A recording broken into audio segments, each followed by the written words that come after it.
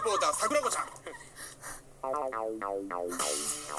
か。はいこんにちはちょっと。ちょっと桜子でどうしてこの映像があるルートで極秘に入手しました。はい。この子可愛いよ可愛くありませんイケて。んじゃんいけてまさくらデビューしてみるか。芸能界